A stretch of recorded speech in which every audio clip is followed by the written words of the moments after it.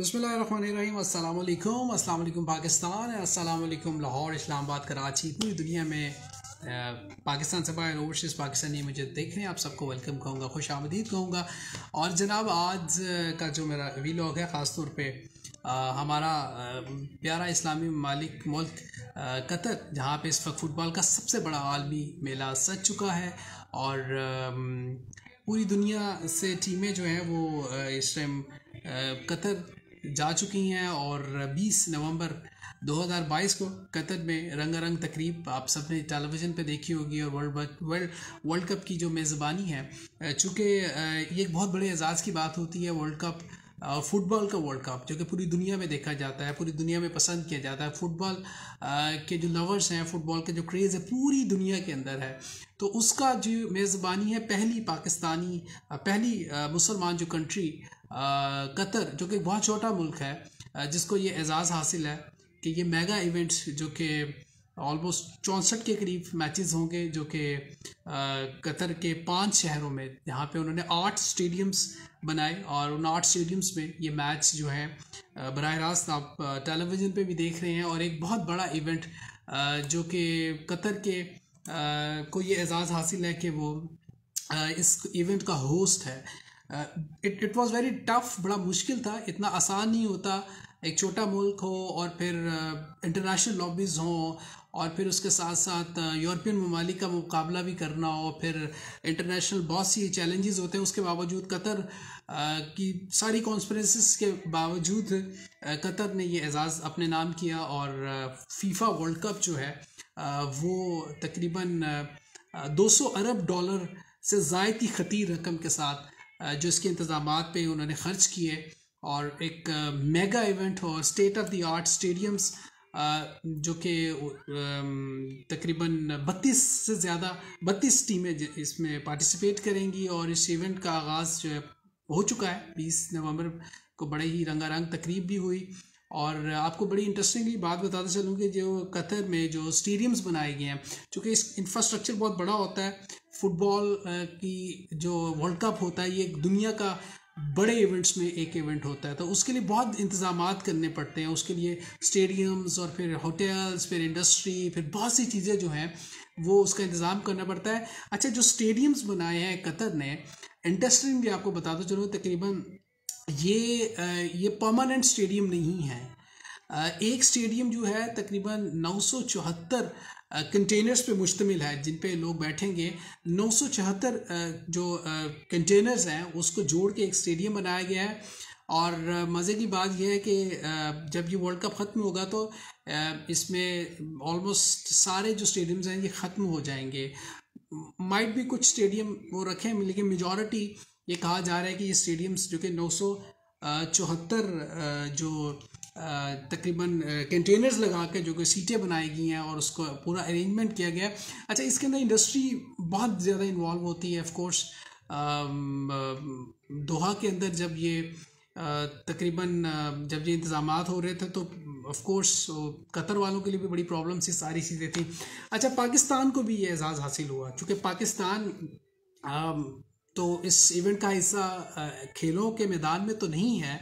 आप सब जानते हैं कि पाकिस्तान में स्पोर्ट्स अनफॉर्चुनेटली हम वैसे स्पोर्ट्स को ग्रो नहीं कर पा रहे। पाकिस्तान को ये एजाज़ हासिल है एक दफ़ा फिर कि कतर में जो वर्ल्ड कप हो रहा है 2022 उसका जो फुटबॉल है वो पाकिस्तान का बना हुआ है, सियालकोट का बना हुआ है। सियालकोट की फॉरवर्ड फॉरवर्ड स्पोर्ट्स है, उसका बना हुआ है। और मज़े की बात यह है कि अगर आप ये समझते हैं कि सियालकोट को या फॉरवर्ड स्पोर्ट्स को दोबारा ये वर्ल्ड कप का फुटबॉल बनाने की अगर ये ऑर्डर मिला, उन्होंने बनाया तो और भी लोग इस मुकाबले में थे, और भी लोगों से ट्राई किया गया, और भी ममालिक ने कोशिश की कि इस दफ़ा वो एक दफ़ा फिर जो है फुटबॉल है, वो अपने पास बट इसको बनाना, इसको मैनेज करना, इसकी मैन्युफैक्चरिंग करना एक बहुत बड़ा टास्क है, जो कि ये एजाज़ पाकिस्तान को मिला, पाकिस्तान की फॉरवर्ड इंडस्ट्री जो कि सियालकोट से जिनका ताल्लुक़ है, उनको मिला। तो ये पाकिस्तान को, चूँकि मैदान में तो पाकिस्तान नहीं आया, लेकिन जो मैदान में जो फुटबॉल है, वो ऑफ़ कोर्स पाकिस्तान के नाम आया सियालकोट के नाम आया।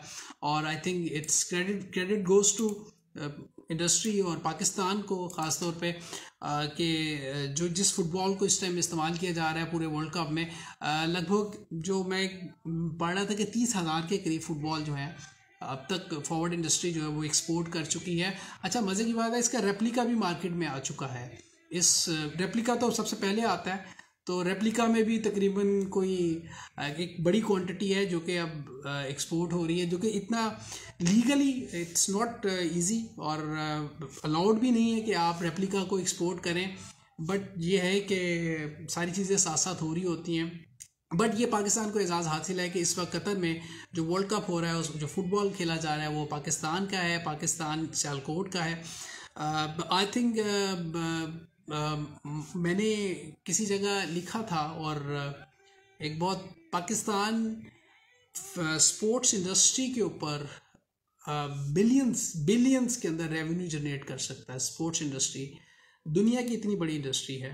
आप मैं आपको एग्जांपल देता हूँ माइकल जॉर्डन की। माइकल जॉर्डन जो है आ, सिर्फ़ उससे बिलियन डॉलर्स जो है रेवेन्यू जनरेट किया जाता है। माइकल जॉर्डन की गवर्नमेंट से माइकल जॉर्डन की जो एसेसरीज़ हैं माइकल जॉर्डन जो कि अब अब बास्केटबॉल का हिस्सा नहीं है, वो नहीं खेलता बट स्टिल वो इतनी बड़ी इंडस्ट्री है, वो बंदा itself as a brand में बात कर रहा हूँ कि माइकल जॉर्डन जो था, उसको आज तक जो है यूटिलाइज़ किया जा रहा है। हमारे पास तो माशाल्लाह बड़े बड़े ब्रांड्स हैं बड़े बड़े नाम हैं स्पोर्ट्स में, चूँकि हमारे यहाँ क्रिकेट बहुत ज़्यादा है। क्रिकेट को भी इवन हम स्पोर्ट्स एज ए इंडस्ट्री अभी तक बहुत ज़्यादा डेवलप नहीं कर सके। बट अगर हम चाहें तो Pakistan as a sports sports industry sports garments sports medical जो गारमेंट्स हैं मेडिकल इक्विपमेंट्स हैं, ये बहुत सी ऐसी चीज़ें हैं जो कि जनरेट कर सकती हैं। अब सवाल ये आता है, हमेशा लोग पूछते हैं कि जी यार ये कैसे होगा? It's not a big job इसके अंदर ये अक्सर लोग कहते हैं जी गवर्नमेंट सपोर्ट होनी चाहिए गवर्नमेंट को आना चाहिए। नहीं I am really sorry for that but ये हमारा एक बड़ा गलत कॉन्सेप्ट है कि गवर्नमेंट जो है वो स्पोर्ट्स इंडस्ट्री लगाएगी, वो स्पोर्ट्स को इन्हांस करेगी। नो ये प्राइवेट वेंचर्स के काम है, ये प्राइवेट वेंचर्स ये काम करती है कि स्पोर्ट्स को इन्हांस करना है स्पोर्ट्स को इंक्रीज करना है स्पोर्ट्स इंडस्ट्री को बढ़ाना है। जब तक प्राइवेट लोग बिज़नेस मैन इसके नहीं अंदर आएँगे, उस वक्त आपने देखा जैसा पाकिस्तान के अंदर आप पीएसएल देखते हैं कि पीएसएल के अंदर गवर्नमेंट तो नहीं है पी पी एस एल के अंदर जितने भी प्राइवेट वेंचर्स हैं प्राइवेट लोग काम कर रहे हैं प्राइवेट इंडस्ट्री आई है प्राइवेट कंपनी आई है तो पी एस एल ने एक बहुत यू नो एक हाइप क्रिएट हो गई है, एक बहुत बड़ा इवेंट बन गया है।